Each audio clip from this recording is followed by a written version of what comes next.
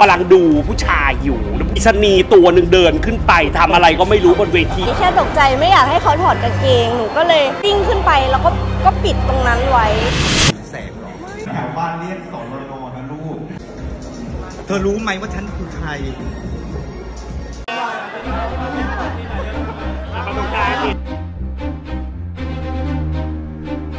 เดินเข้าไปขอโทษตั้งแต่ตอนนั้นเลย แต่ว่าเออไม่เป็นไรขอแบบแม่ใจเย็นก่อน เข้ามาขอโทษไม่ได้โกรธนะ แต่ว่าวันนั้นน่ะคุณผิดจังหวะไปนิดนึง เรากำลังนั่งคุยกันเนาะแม่เนาะก็คือจังหวะนรกจริง ๆ เพราะว่าเขาก็ไม่คิดว่าขึ้นมาจะเป็นแบบนี้เหมือนเมื่อกลางวันที่น้องเขามาเคลียร์เขาก็บอกว่าปกติอะเคยมาเวทีแม่น็อตอะเขาสนิทกันแล้วเขาก็จะแบบใช่ สนิทกันมากแล้วเขาก็ไม่อยากให้แบบเฮ้ยมัน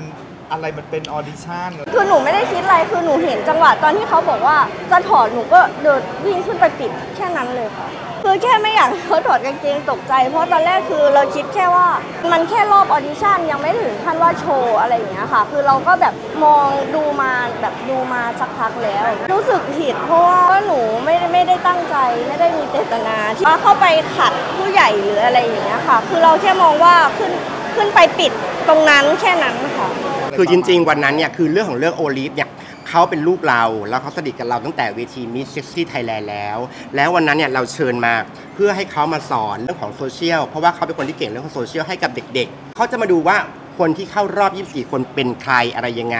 แล้วณตอนนั้นพอเกิดเหตุการณ์ที่ทำให้เขารู้สึกว่า มันจะทำให้ให้ไม่ดีกับเวทีของเรานะฮะแล้วก็น้องจะถอดไม่รู้ใครถอดนะจำไม่ได้แล้วอ่าอาภาคินถอดแล้วลูกโอลิฟก็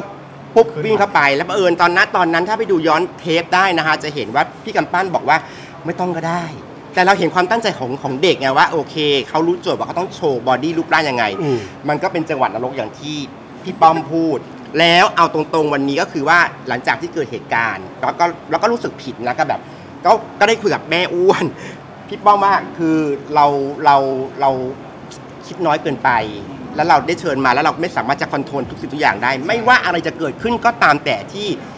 ที่ที่เหตุการณ์น็อตในฐานะที่ดูแลเวทีนี้นะฮะแล้วก็ต้องขอโทษแทนน้อง ขอโทษแม่อ้วนนะขอโทษพี่ป้อมนะฮะขอโทษแทนโอลิฟด้วยที่ทำให้เกิดเหตุการณ์แบบนี้ขึ้น อันนี้ขอโทษจริงๆฮะขอโทษจริงๆ เหมือนพอน้องมาขอโทษแล้วอะไรเงี้ยแม่หนูขอโทษนะอะไรเงี้ยหนูแบบนั้นหนูแบบนี้อะไรเงี้ยคือด้วยความที่พวกเราเป็นผู้ใหญ่แล้ว แล้วตอนนี้ การที่เราได้สั่งสอนไปวันนั้นน่ะมันก็คือพอเพียงแล้วสำหรับการกระทำของเขาใช่ไหมแล้วเราพวกเราก็ไม่ได้ติดใจนะว่าจะต้องไปโกรธไปเครียดจบตั้งแต่ไปวันนั้นเครียดแค้นอะไร มันจบไปตั้งแต่วันนั้นแล้ว แต่วันนั้นนะถ้าจะให้เราอยู่นิ่งๆ โดยที่เราไม่พูดอะไรไปเลยนะมันมันก็ไม่ใช่แล้วเพราะว่าอยู่ๆอะ เด็กเขาเดินขึ้นมาบนเวที ซึ่งมันไปช็อตฟิลพวกเรามากๆคือพวกเรากำลังดูผู้ชายอยู่แล้วผู้มีชะนีตัวหนึ่งเดินขึ้นไปทำอะไรก็ไม่รู้บนเวทีอย่างเงี้ย เชื่อว่านะถ้าเกิดว่าใครนั่งอยู่ตรงนั้นก็ต้องก็ต้องก็ต้องด่า ดีไม่ดีอาจจะด่าแรงกว่าเราด้วยซ้ำไปก็คืออาจจะบอกว่าไม่ไม่ไม่ได้เตรียมกันใช่ไหมครับอะไรอย่างเงี้ยก็ไม่มีอยู่แล้วค่ะก็อย่างนี้คือคือจอะริงๆแล้วตอนแรกอะพี่อะบอกตรงเราก็นึกว่าเตรียมกันอืมใช่ไหมแล้วพอน้องมา มันก็จังหวะนรกอย่างที่บอกก็ปุ๊บปุ๊บปุ๊บปุ๊บปุ๊บปุ๊บแล้วเราอะหลายคนอาจจะไม่เคยเห็นเราแบบเป็นอย่างนี้ หรือถ้าคนรุ่นเก่าๆก็จะรู้ว่าโอ้ยพี่ป้อมเป็นคนตรงๆชัดเจนหรือว่าอะไรเงี้ย แต่หลังๆเนี่ยยอมรับว่าเบาลงเยอะเพราะว่าเราผ่านการทำงานเรามีวุฒิภาวะมากขึ้นอะไรเงี้ยเราจะไปแสดงอะไรไม่ได้แต่ว่าวันนั้นอะอยู่ดีมันก็รุกขึ้นมาใช่แต่ว่าพี่อะเป็นคนที่ เหมือนเราก็ว่าไปตามน้ำแล้วก็ลงมาก็โอเคเราเถียงกันจริง แต่ว่าอันเนี้ยบอกเลยว่าไม่ได้มีการเตรียมเนาะแต่หลังจากวันนั้นที่จบอะเราก็เข้าไปดูคอมเมนต์ต่างๆเนี้ยแล้วน้องโดนทัวร์ลงเยอะพี่มาป้อกมก็โทรหาเราด้วยนี่นี่ก็ยังแบบโทรบอกพี่น้อยบอกว่าฝากไปบอก น้องด้วยนะว่าพี่เป็นห่วงอืมอีด่าก็ส่วนด่าส่วนเป็นห่วงเราก็เราก็เป็นห่วงเนี้ยเพราะโอ้โหเราไปดูคอมเมนต์แม่อืมมันแรงมากอืมตัวพี่ป้อมเองก็โดนเหมือนกัน แต่ว่าน้องโดนเยอะกว่าอะไรอย่างเงี้ยเราก็อืมเออฝากไปไปบอกเขาด้วยเป็นห่วง ซึ่งก่อนหนั้นเนี่ยแม่น็อตเขาก็นัดอยากให้มาเคลียร์กันอยู่แล้ว ซึ่งพี่ป้อมก็บอกเลยว่า พี่ไม่มีอะไรก็คือเราเหมือนคนทะเลาะกันเราเราก็ move on มันก็จบ มันไม่มีอะไรเลย แล้วเด็กเขาก็เหมือนอยากจะมาขอโทษเราตั้งแต่วันใหม่ๆแต่บอกอุ้ยอย่าเพิ่งมาอย่าเพิ่งมา ไม่ต้องมาหรอกแล้วก็วันนั้นน่ะบอกเลยว่าเราก็สงสารพี่น็อตเหมือนกันนะเพราะว่า การที่พี่น็อตเชิญน้องเข้ามา แล้วเราไปด่าน้องเขาขนาดเนี้ยใช่ไหมมันก็มันก็ไม่ควร แต่พูดจริงๆนะวันนั้นเราก็ลืมแบบว่ากล้องมันเยอะด้วย เราก็เลยใช้คำแรงๆไป แต่คือคำแรงๆตรงนี้บอกเลยถ้าไม่ใช่นั่งกันอยู่เยอะ แล้วก็มีพี่ๆน้องๆ สื่อนั่งกันอยู่เยอะๆฉันบอกเลยว่าโดนฉันมากกว่านี้อีก นั่นคือวันนั้นนะ แล้วเราก็พูดไปแล้วว่า มันคือการไม่มีมารยาทในวงการบันเทิงมันไม่ควรที่จะทำแบบนี้ แล้วก็วันนี้เนี่ย เขาก็มาขอโทษแล้วขอโทษแม่หนูขอโทษนะ แม่หนูไม่ได้ตั้งใจอะไรเงี้ยเราก็ได้สั่งสอนเขาไปว่า ทีหลังอย่าทำอีก เพราะว่าเธอเนี่ยทำแบบนี้เสร็จปุ๊บเนี่ยมันไม่ดีกับตัวเธอเองอะไรอย่างเงี้ยแต่เขาก็โดนโดนโดนทัวร์ลงไปเป็นสิบสิบล้านคอมเมนต์นะนะจนกระทั่งแม่นับสงสารแม่ไม่ลองดูสื่อที่ออกไปเยอะแล้วก็เยอะทุกคนทัวร์ลงน้องก็หมดเลยอะจริง ๆ น้องเนี่ยจเราสงสารเลยแบบ เป็นคนน่ารักนะ ใช่แล้วแล้วแล้วน้องก็บอกว่าคนก็ติดต่ออยากสัมภาษณ์เขาเยอะมากเขาก็เขาก็ไม่ออก ส่วนตัวพี่ป้อมพี่ป้อมก็รับโทรศัพท์สองวันเต็มๆเลยกลางคืนรับถึงตีสามก็มีเออ มีเด็กคนโทรมาถามว่าคอนเทนต์หรือเปล่า หรือไม่ก็มาบอกว่าโดนแม่น็อตหลอกไป หลอกไปให้ทำคอนเทนต์อะไรเป็นเหยื่อประมาณเนี้ยเออเราบอกเป็นเราเป็นเหยื่อ เหยื่ออะไรอย่างเงี้ยเราก็บอกว่าเหยื่อไม่เหยื่อไม่รู้เราก็ว่าไปตามนั้น เพราะว่า ถึงเป็นเหยื่อหรือสิ่งที่เกิดขึ้น เราก็ต้องพูดแบบนั้นอยู่แล้วใช่อะไรอย่างเงี้ยก็มันคือไม่อยากให้ได้ทุกคนเข้าใจว่าเราไม่มีอะไรแต่หลังจากนั้นก็คือ ก็อย่างนั้นเออเดี๋ยวเราจะมาเตรียมแต่ว่าคิวมันก็ไม่ได้เจอกันแต่พอวันนี้เจอก็เอ่อครั้งแรกที่เจอก็เอาโผกอดกันก่อนเพราะว่าโดนเละทั้งคู่คือพี่ป้อมก็โดนอืมแต่น้องโดนเยอะกว่าอะไรอย่างเงี้ยบ้านเราโดดขึ้นเวทีเพราะว่าเราอยากให้บ้านเขาใส่เวทีไม่ไม่ไม่ไม่ ค่ะไม่ค่ะคือหนูหนูแค่ตกใจตอนที่เขาพี่เขาที่พี่ประกวดเขาเขาจะถอดกางเกงหนูเลยก็เลยเดินเข้าไปปิดวิ่งขึ้นไปปิดแค่นั้นเลย แค่นั้นเลย เพราะตอนตอนที่หนูพูดหนูว่าเดี๋ยวเวทีแม่น็อตเสียหนูคิดแค่นั้นเลยค่ะแล้วพอหลังจากมีเสียงดราม่าขึ้นมาเราได้อ่านคอมเมนต์ต่างๆไหมไหมอ่านอ่านค่ะมันยังไงมันหนักหนักใจไหมหรือยังไงอ่านไรบ้างคือ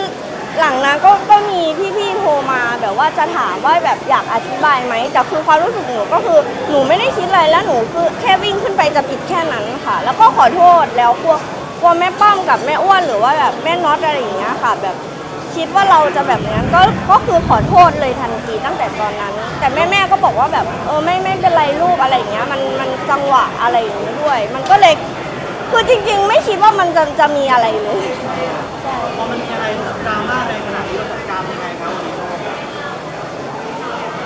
ก็ไม่ไม่ไม่ไม่ไม่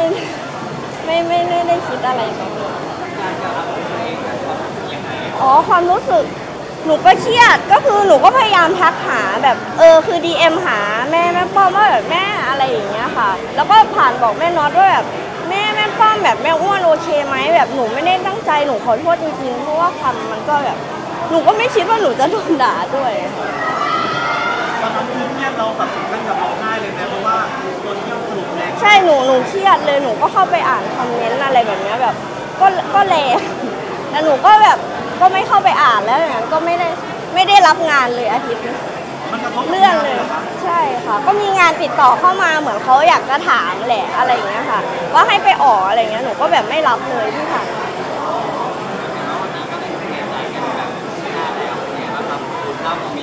ค่ะก็ดีใจก็คือเหมือนโล่งใจสบายใจขึ้นเพราะว่าแบบเราไม่ได้มีเจตนาจะให้ผู้ใหญ่มองว่าแบบเราไม่มีมารยาทหรือว่าขึ้นไปทำให้มันแบบจังหวะหรือว่าผิดอะไรอย่างนั้นนะคะหนูก็แบบ แค่ไม่ได้ตั้งใจแล้วก็ขึ้นไปจะผิดแค่นั้น แม่ๆก็สอนให้เราเนี่ยแม่แม่ๆก็บอกว่าคือแบบต้องต้องต้องดูก่อนว่ามีใครบ้างอะไรบ้างอะไรอย่างเงี้ยค่ะก็แบบให้ใช่ให้เรามีสติมากจริงๆแล้วเหตุการณ์ที่เกิดขึ้นมันให้อะไรกับเราบ้างเราคิดกลับไปคือให้หนูคิดทบทวนเลยว่าแบบว่าคืออย่า เขาเรียกว่าอะไรคือไม่ใช่ว่าเราเห็นอะไรแล้วเราทำเลยเราต้องแบบดูก่อนอะไรอย่างเงี้ยค่ะคือหนูแค่ตกใจแล้วหนูก็วิ่งขึ้นไปเลยแค่เนี้ยมันก็เลยทำให้เราแบบไม่ควรอย่างเงี้ยค่ะที่บ้านมีกังวลไหมแบบเราโดนโดนตีขนาดนี้ก็คือแค่แค่ให้กำลังใจว่าไม่ให้เข้าไปอ่านคอมเมนต์เพราะว่าคือคนอื่นรอบตัวก็เข้าไปอ่านแน่กลัวผู้ใหญ่บางคนอาจจะมองว่าแบบ เอ้ยเขาเป็นคนอย่างนี้อะไรอย่างเงี้ยค่ะแต่ว่าคือเจตนาหนูที่ที่ที่อยู่ๆวิ่งขึ้นไปไม่ได้มีเจตนาอย่างนั้นเลย คือหนูก็ขอโทษนะคะ ขอโทษ ขอโทษแม่แม่ขอโทษเวทีนี้แล้วก็แต่หนูไม่ได้มีเจตนาอย่างนั้นจริง